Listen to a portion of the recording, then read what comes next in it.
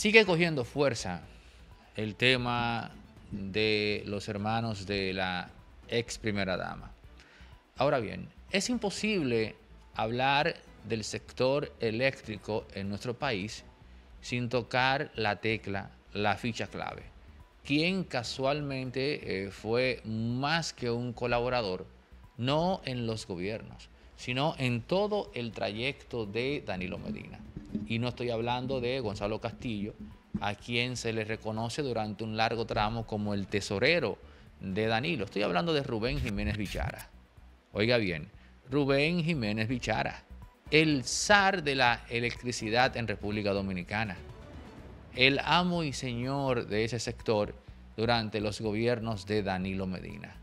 Usted no puede hablarme a mí de Maxi Montilla y su hermano, no, grandes suplidores que llegaron a, recaudar miles de millones de pesos del Estado y hasta cierto punto una participación en el sector privado, amén de lo que quede abierto en contra de ellos por parte del Ministerio Público, pero lo que movieron ellos con el Estado no funciona, eh, digamos, tan, tan, tan baladí, si se quiere, como que soy o somos los cuñados del presidente y punto.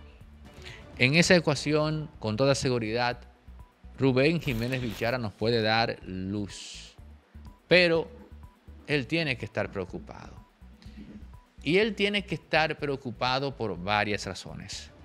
Sabe y conoce perfectamente que se necesita este tipo de aparataje mediático. Y si usted no es una persona cercana a Danilo. No, no. Si usted es la persona más cercana a Danilo, porque hay que decirlo, Rubén Jiménez Bichara está con Danilo Medina desde los tiempos en que Danilo no era Danilo, si usted me puede comprender. También se le conocía como una especie de, mecenas o mecenas de los proyectos de Danilo y es eh, la persona que tenía la última palabra pero también es un conocedor del sector eléctrico que incluso en tiempos de Leonel eh, Fernández llegó a ocupar el más alto peldaño desde el sector público. Rubén Jiménez Bichara. No hay forma en la cual usted me habla a mí de los hermanos Montilla sin que usted me coloque en esa ecuación a Rubén, a Rubén Jiménez Bichara, al menos para que Bichara nos explique cómo era que, caramba, los, eh, los cuñados del presidente lograban siempre hacerse con la mayor parte del botín. Aprovechando, como dice Guido Gómez Mazara, que los sectores de poder en el país no se iban a meter con los hermanos del presidente. Pero miren, usted puede estar seguro que este asunto de los hermanos Montilla a Rubén Jiménez Bichara le trae mucha intranquilidad. ¿Y por qué? Bueno, pues porque no es lo mismo mencionar a Rubén Jiménez Bichara que a los hermanos de la ex primera dama, sobre todo si usted sabe lo que significó Bichara para Danilo Medina. Los sábados ahora son de los Sí.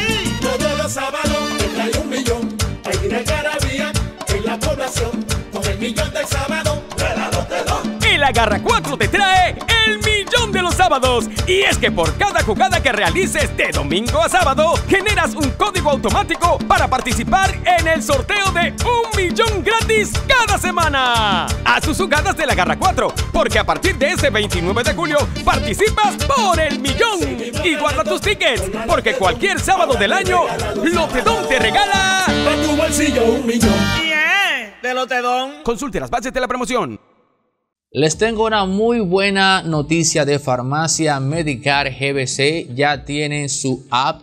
Vayan a Google Play y a, la, tienda de, de, Android y también a la de Apple y descarguen desde ya la aplicación de Farmacia Medicar GBC. Ahí podrán seguir disfrutando a partir de compras de 300 pesos del 20% de descuento en todos sus medicamentos. La Farmacia Medicar GBC llega a tu celular Descarga la app y pide tus medicamentos a través de ella. Farmacia Medicar GBC, la de nosotros los dominicanos.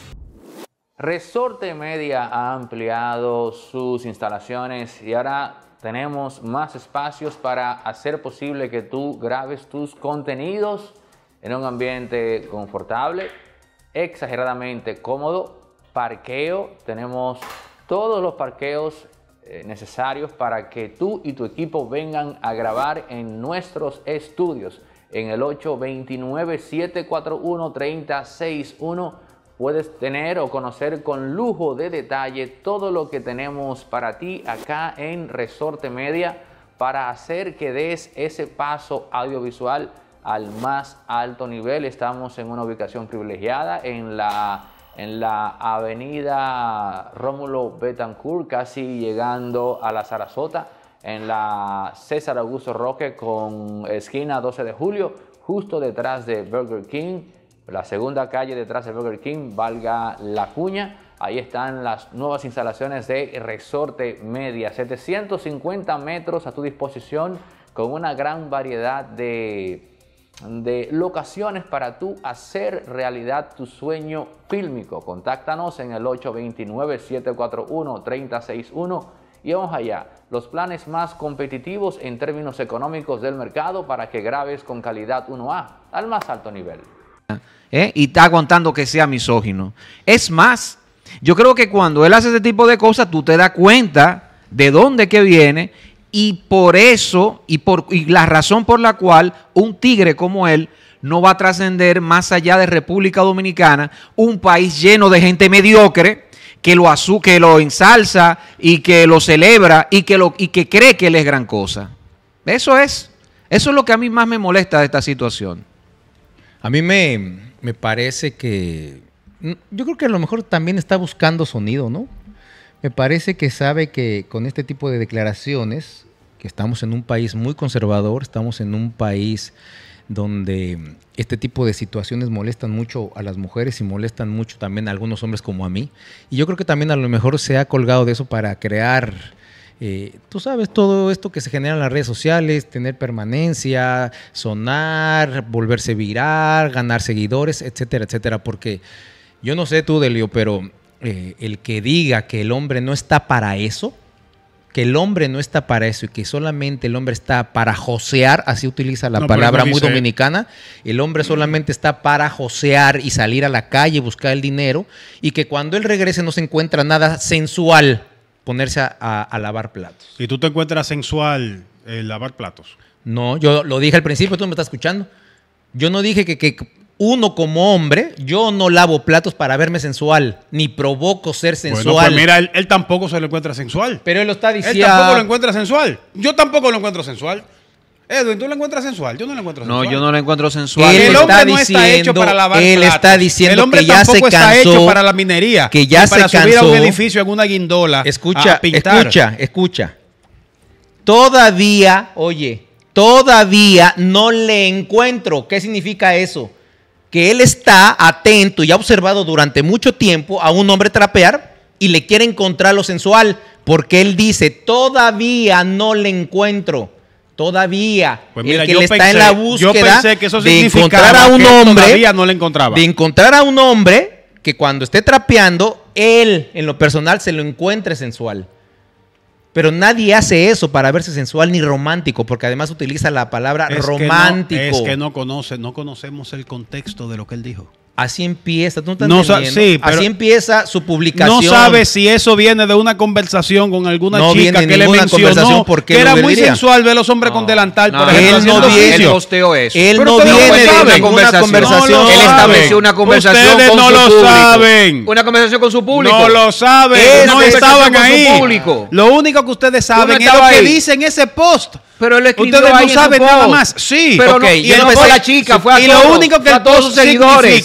Lo único que significa es lo que dice el post. Fue a todos sus Todo seguidores. lo demás es una imaginación no, de No, no, no. La imaginación la tienes tú, que no tú estás es- pensando que una conversación con alguien. Eso una conversación estás privada. tú. Eso tú te lo estás inventando. en Eso te lo estás inventando. Ya, Tú sí tienes una imaginación especulando. Tú estás especulando y buscándole Pero ahora sí que la quinta pata como, como, como somos nosotros. Pero estamos analizando lo textual. Por eso inicié este programa citando lo que ese señor acaba de escribir hace poco, hoy. Léelo de nuevo. Miércoles. Empieza, todavía no le encuentro, todavía no le encuentro lo sensual y romántico a un hombre trapeando y fregando. Así empieza. Después va diciendo. ¿Tú se lo encuentras? ¿Eh? tú ya se lo encuentras no, yo no se lo encuentro porque lo acabo entonces, de Entonces no hay diferencia. él tampoco se lo encuentra. Pero que no estás entendiendo. Yo no me la paso observando. yo no me la paso, él, yo no me la paso observando a hombres. Yo no me la paso observando para ver si encuentro. Para ver si encuentro. Es lo que pasa, es lo que pasa que no ve ningún problema con que él sea sexista y esté diciendo que para un hombre eso no le luce, pero una mujer sí. Y tú, estás obviando ese elemento, tú ¿verdad? Tú haces oficio. Para una mujer. Tú haces oficio. Tú lavas y plancha. Yo he hecho oficio. yo he lavado. ¿Has hecho no? Haber hecho yo he hecho oficio. ¿Tú haces regularmente los oficios? ¿Lava y plancha también? Yo hago oficio regularmente. ¿Y también plancha? Yo he hecho oficio, lo he hecho. ¿Por qué no planchaste esa camisa si, tú siempre planchas? No, se la mando a planchar también. Y entonces después, observen, después dice. Pero eso es mierda. Tú lo que, tienes, lo, que tú tienes, lo que tú tienes que decir, reconocer, mira, que eso es sexista. Eso que tú no quieres reconocer, mira, eso que él puso, esa mierda que él puso ahí, es sexista. Eso es de un tigre que odia a las mujeres. Eso, es de un tipo. Eso también te lo estás inventando tú. No me lo estoy inventando. También te lo estoy inventando Él tiene una tendencia a eso. Él tiene una tendencia a eso. Porque ahora te voy a decir una vaina, tú no lo sigues a él. No, no. Entonces tú no estás calificado para, para, para hablar como si puede hablar Fernando, como lo he hecho yo. Yo, yo, el tipo tiene una tendencia para hablar, es bueno, la primera vez. Si tú revisas sistemáticamente, pero lo que, dice si revisas sistemáticamente, si revisas sistemáticamente sus publicaciones, te darás cuenta que es un machista, que es un tipo que odia a las mujeres. Eso es lo que él hace. y además de eso, es un farsante. Pero además de que es un farsante, ni siquiera tiene talento para disimular el odio por las mujeres porque ni siquiera puede hacer un papel bien. Ni siquiera puede hacer un papel bien porque ni siquiera escribe bien. Ni siquiera frasea bien. Ni siquiera sabe romper la métrica porque no las conoce la forma de hacer métrica. Ni siquiera sabe escribir versos. No, hombre, men. Y, mira, ¿Ustedes qué van a hacer? ¿Quieren seguir hablando de esta vaina? ¿Cuántos minutos le vamos a ir dando a esta mierda? Yo estoy sumamente indignado ¿A qué otro tópico te quieren llegar a este tema? Mira lo que dice, que la mujer y el hombre jamás serán iguales que tienen capacidades. es cierto, no espérate, pero espérate. Físicamente, Exacto. físicamente, obviamente que no somos iguales. Sí. No somos iguales. El hombre, por su naturaleza fisiológica, tiene más fuerza física que la tiene, mujer. Tiene, tiene prestaciones diferentes, tiene, condiciones diferentes. Tiene más fuerza física. Tiene más fuerza física. ¿Por qué? Porque el hombre produce en mayor cantidad de testosterona. Las mujeres producen testosterona en muy bajo nivel, pero la producen. Sin esa testosterona que producen sus ovarios, no tendrían líbido sexual y estarían más o propensas a acumular grasa. El hombre produce en mayor cantidad de mililitros testosterona, por eso tenemos barba, por eso tenemos la voz gruesa, por eso tenemos más fuerza. Y mayor masa En ese sentido, eso es fisiológico por naturaleza. Pero sí tenemos la misma capacidad para desarrollar cualquier cosa. Hay voleibolistas extraordinarias que son mucho mejores en, talento que un hombre voleibolista. Hay mujeres basquetbolistas con talentos increíbles que pueden jugar mucho mejor que un hombre. Hay nadadoras mejores que hombres. Hay gente que escribe libros mucho mejores que otros hombres. En ese sentido, sí tenemos la misma capacidad, tenemos la voluntad y ante la ley somos iguales. Ante la voluntad somos iguales. Nosotros tenemos la misma voluntad.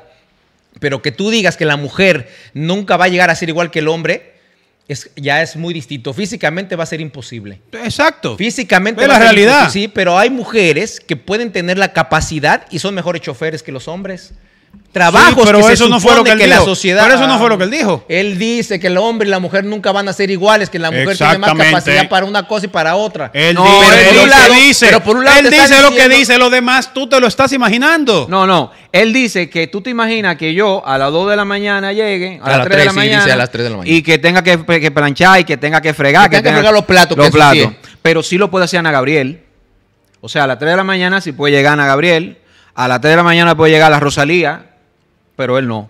Él no puede. No, porque, porque él es hombre. y el hombre no está hecho para eso. una cosa. El hombre está hecho para josear. Oye, te digo algo. Si es por ascendencia artística, tú deberías de, fregar, de lavar la casa, de lustrar. ¿Tú crees que Rosalía friega? Y hacerlo todo. ¿Tú crees que Rosalía llega de un concierto a fregar a su casa? Vamos que, si vamos por, por el, ¿cómo se llama? Por el mérito.